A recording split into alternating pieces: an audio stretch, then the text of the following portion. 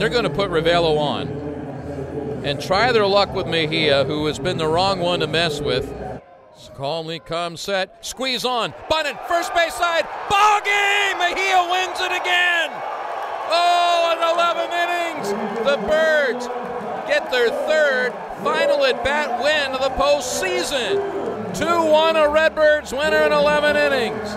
Stubby has not squeezed all year long, and he just pulled it off with the right man at the plate. A fundamentally sound Alex Mejia.